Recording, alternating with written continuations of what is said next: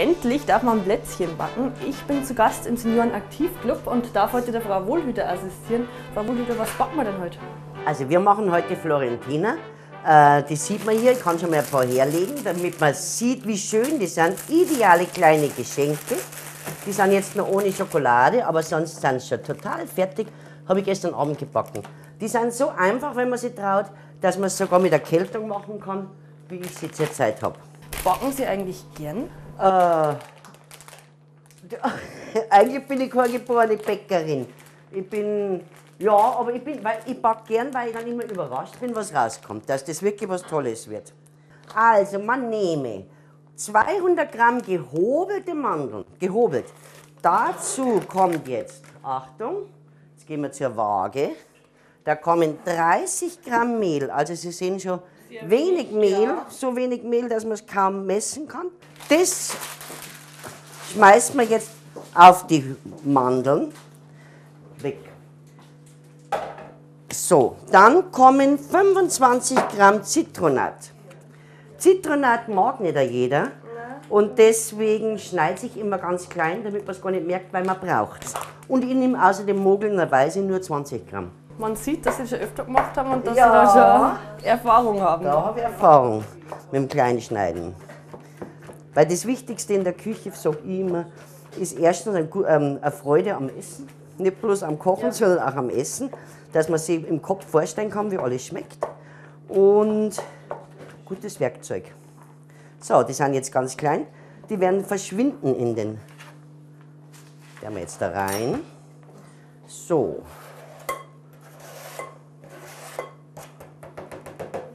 Weg damit. Dann kommt ein halber Teelöffel, halber Teelöffel Zimt. Zimt, der muss man aufpassen, dass es nicht zu viel wird, weil dann ist er ekelhaft. Das tun wir jetzt ein bisschen mischen und damit ist die Grundsubstanz fertig. Und jetzt kommt das Wichtigste. Jetzt kommt, wird der Zucker geschmolzen und karamellisiert. So, da brauchen wir bitte sehr 100 Gramm Zucker. So, dieser Zucker kommt jetzt in die Pfanne. Da ist ganz wichtig, dass man eine gute Pfanne nimmt. Beschichtet und gut, ähm, weil sonst wird es ja noch gar nichts. Sonst haben sie ein Riesenproblem. So, und die werden wir jetzt, das wird jetzt geschmolzen. Dazu braucht man 125 Milliliter Sahne und 50 Gramm von dem, muss man mal lang suchen, bis man das findet, Kunsthonig. Das heißt heutzutage Invertzucker. Kitzinger Kunsthonig hat es in meiner Kindheit überall gegeben. Und das war auch ein köstlicher Brotaufstrich, aber heute muss man wirklich suchen. Wie war das in Ihrer Kindheit? Haben Sie da mit Ihrer Mutter auch gebacken oder war da. Oh ja, wir waren vier Kinder und meine Mutter hat sehr gut gebacken und viel gebacken. Also ich glaube bei fünf, bei vier Kindern. Ja, da muss schon eine relativ große Menge rausspringen. Und von der habe ich auch mein Spitzbubenrezept, obwohl es dann später immer behauptet hat, sie hat das nie so gesagt. Das habe ich auch nirgendwo so gefunden, aber sie sind ideal. Weil eben das ist jetzt so, jetzt ist da ist schon braun, wie es gehört. So, dann tue ich das jetzt weg.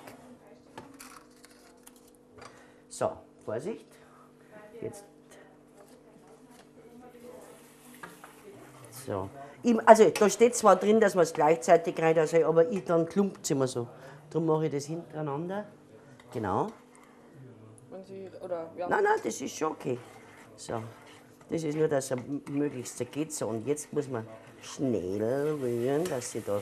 Sonst hat man nämlich wirklich Zuckerklumpen. Das st- löst sich zwar im Backofen wieder auf. Ah, hier, auch. das löst sich im Backofen natürlich dann wieder auf. Aber mir persönlich gefällt es einfach nicht. Weil ich jetzt meinen schönen Löffel nicht mehr habe. Das ist es. So, jetzt geben wir das wieder drauf. Da haben wir ja eh noch Restwärme. Das muss jetzt nochmal richtig schön aufschäumen.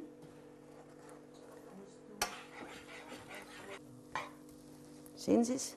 Wie das da schön vor sich hin tut. So, und damit ist der Teig fertig. Aber jetzt geht es erst richtig los. Jetzt machen wir lauter kleine Häuferl. So, dann machen wir einfach noch eins. Das reicht total. So. Wenn wenn die leicht braun werden, dann dürfen sie raus. Also dürfen schon kräftig braun werden, weil zu blass sind sie nicht gut.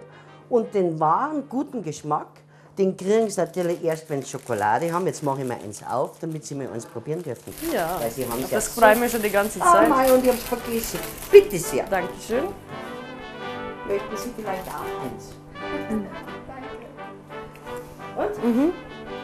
Sehr gut. So. Und dann wird es einfach mit dem Pinsel gestrichen und fertig sind diese wunderbaren Brezel. Vielen Dank, dass mit uns gebacken haben. Das Rezept zum Nachlesen gibt es auch nochmal auf Facebook und ich hoffe, wir sehen uns nächsten Montag wieder.